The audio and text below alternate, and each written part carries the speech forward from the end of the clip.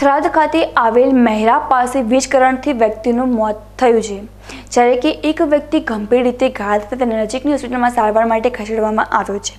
જોકે હાલમાં થરાદ ખાતે ભારતમાલા પ્રોજેક્ટની કામગીરી ચાલી રહી છે. કેટલાક લોકો હાથ ધોવા માટે ગયા હતા.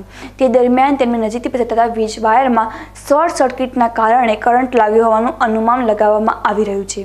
જે દરમિયાન સ્થાનિક લોકોએ તાત્કાલિક કંપનીને જાણ કરીને વીજ પુરવઠો બંધ કરાવ્યો હતો અને અન્ય લોકોને બચાવી લીધા હતા. આ ઘટનામાં લખીરામ જાટ નામના વ્યક્તિનું વીજ કરંટથી મોત થયું છે, જ્યારે કે અન્ય એક ઈસમ ગંભીર રીતે ઘાયલ થતા તેને સારવાર માટે પીરુડાની હોસ્પિટલમાં ખસેડાયો હતો.